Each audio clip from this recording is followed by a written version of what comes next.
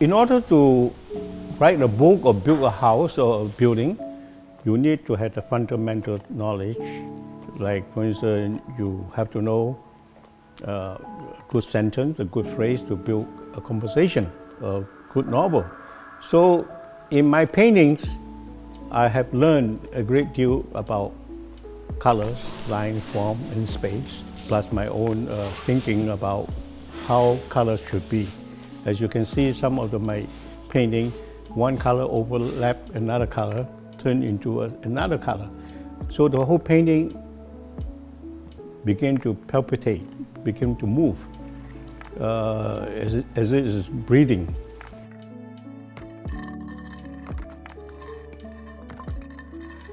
This uh, so-called first brick in Chinese, 第一块砖, uh, I felt that uh, this uh, lady contribute a great deal towards Singapore uh, growth.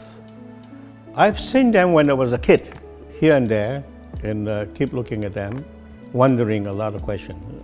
Their family, their background, their ability to do men's work impressed me. They sacrifice by coming overseas to work and make a few bucks and send home.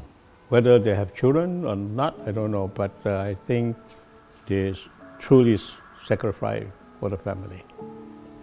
And therefore, it's seated in my mind, in my heart for a long time. So, in other words, I'm dancing with the canvas to compose emotion, uh, uh, some kind of feeling that I want to project on the canvas if you really look at the painting, the important part is how the painting was formed. That kind of knowledge is not easy to express. So to tell these people who look at my painting that how I did the painting is quite hard, quite difficult, you know. Uh, maybe uh, it's easier for them to look at me and do my work. They might have a chance to understand it. I uh, wholeheartedly want to do a huge painting about these uh, Samsui women or uh, ladies. Personally, it means a lot to me because I'll be able to uh, execute this painting the way I like, using my formula or knowledge or uh, uh, painting language to compose this painting. I don't care what technique you use, what kind of medium, what kind of what paint you use. If the painting as a result has no passion, no soul, no life, it is dead.